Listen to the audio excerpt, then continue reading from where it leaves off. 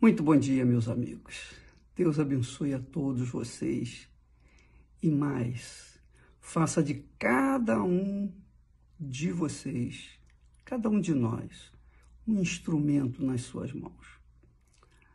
Uma fonte de luz para iluminar aqueles que ao nosso redor estão em trevas. Uma fonte de água viva para dar água viva, água da vida para aqueles que estão sedentos de justiça, que faça uma fonte de vida. A fonte de vida começa com a verdade. Quando a pessoa abraça a verdade, vive a verdade, então ela está longe da mentira, longe do pecado, longe da injustiça. E ela então vive de justiça em justiça. Isso significa viver pela fé. Nem sempre é fácil viver na verdade.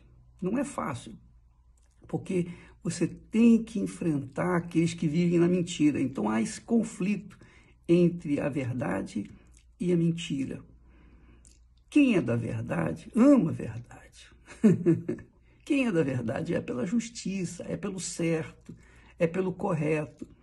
Mas quem é da mentira, ah, esse é cruel, porque vive da mentira, se alimenta da mentira. Jesus disse que o diabo é o pai da mentira. Então, aqueles que vivem na mentira estão servindo ao seu pai, que é a mentira, que é o diabo. Mas não é isso que eu queria falar com vocês, não.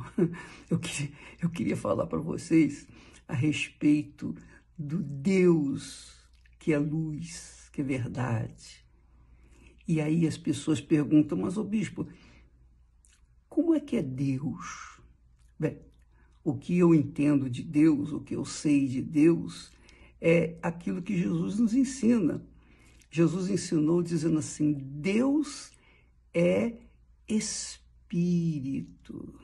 Quer dizer, Deus não é um objeto de pau, de pedra, de metal, de ouro, nada disso. Deus é espírito, Deus é espírito. É claro que, sendo espírito, ele se revela para aqueles que são da verdade, aqueles que amam a verdade. Às vezes a pessoa até vive na mentira, vive no pecado, mas nem sabe que está vivendo na mentira, nem sabe que está vivendo no pecado porque não conhece a verdade. Quando a pessoa não conhece a verdade, ela vive na mentira. Então, ela, obviamente, quando tem conhecimento da verdade, sendo ela uma pessoa verdadeira, uma pessoa sincera, sincera, então o Senhor, que é espírito, ele fala livre da mentira. Porque quando o Espírito de Deus desce numa pessoa, ele faz mudar o seu caráter, mudar a sua natureza terrena, mudar o, seu comportamento, os seus complexos, suas é, falhas, suas miserabilidades. Porque então, como espírito, como espírito, ele se manifesta na vida daqueles que estão livres da mentira, aqueles que gostam da justiça, aqueles que amam o bem, que seguem o bem, que querem viver na justiça. Então, o Espírito de Deus escolhe as pessoas sinceras, que, embora estejam no pecado, para libertá-las, para que então ele possa habitar nelas e, através delas, espargir a sua luz, levar a sua verdade, manifestar o seu perfume por onde quer que aquela criatura vá. É interessante isso, porque Deus não vai usar um pedaço de pau, uma, um pedaço de madeira, né? um objeto de gesso, ele não vai usar um, uma coisa inanimada, ele vai usar a, uma criatura que foi criado à sua imagem e semelhança embora tenha pecado, mas quando a pessoa quer a verdade, quando a pessoa ama a verdade, quando a pessoa é sincera, sincera, especialmente sincera. Então, o Senhor lhe dá o direito, o privilégio de conhecer a verdade e ela imediatamente abandona a mentira e começa a seguir a verdade que é a justiça. Mas ele, Jesus disse que Deus é espírito. Deus é espírito. E como espírito, ele usa você, usa a mim, ele usa aqueles que se entregam de corpo, alma e espírito nas mãos dele, que se deixam servir para fazer a vontade dele, que se colocam como servas, servos dele. Então Jesus disse para a mulher samaritana: Deus é espírito. Deus é espírito. Espírito você não vê, você não toca, você não sente. Deus é espírito. E importa, é necessário, é obrigatório que os que o adoram, os que o adoram, o adorem em espírito e em verdade. Em espírito e em verdade. Em espírito é na sinceridade, como temos falado. A pessoa é sincera, ela fala aquilo que ela sente, ela fala o que tem dentro de si, ela coloca diante de Deus toda a sua alma. Ela se entrega corpo, alma e espírito para que o Espírito Santo venha possuir o seu ser e fazer dele o um instrumento da sua luz, da sua verdade. Então, muitas pessoas perguntam: por que, que eu não recebi o Espírito Santo? Você não recebeu porque você não se entregou 100%, você entregou uma parte de você. Você deixou alguns pecados, mas não deixou todos os pecados. Você deixou as injustiças, mas não deixou todas as injustiças. Você deixou a mentira, mas você conserva dentro de si ainda algumas, alguns resquícios de mentira, de engano. Então, é impossível você receber o Espírito Santo enquanto você não se entregar 100%. Eu sei que esse, essa entrega só depende de cada um de nós. Porque a sua vida é sua. Só você tem o direito de fazer dela o que você bem entender. Não foi isso que aconteceu lá no, no jardim do Éden?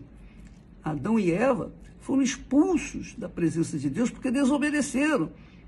Mas quando a pessoa, por exemplo, como Abel, que se entregou para ele e fez a oferta da sua vida, representando a sua vida, então ele foi justificado, Abel foi justificado, tornado justo diante de Deus por conta da oferta que ele deu, que é a sua própria vida no altar.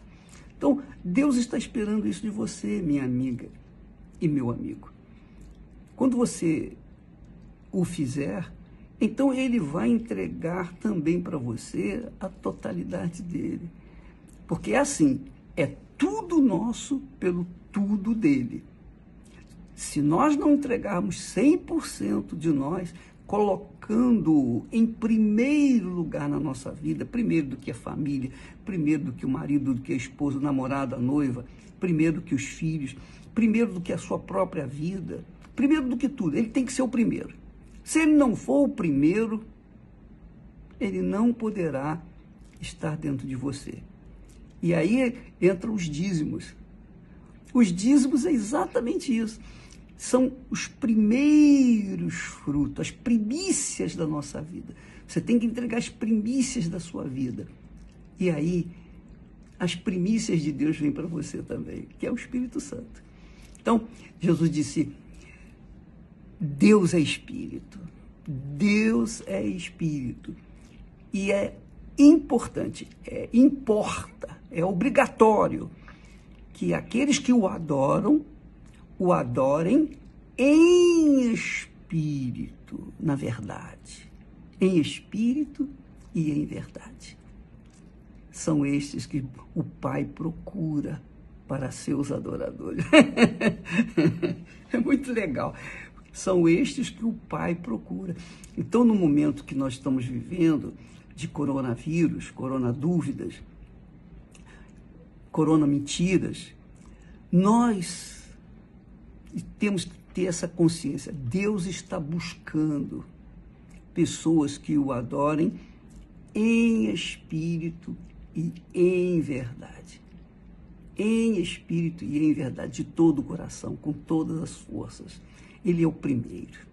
Não importa se você é pobre, rico, se você é jovem, ah, balzaca, digamos assim, ou se já está com a idade avançada. Não importa.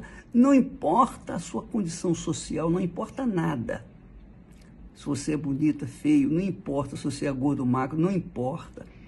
Deus está buscando pessoas que queiram, que tenham sede, fome da verdade, para que então o Espírito da justiça venha habitar nele e através dele essa justiça possa se espalhar como perfume universal por todo o mundo. Que Deus abençoe a todos. Amanhã estaremos falando mais a esse respeito. Deus abençoe.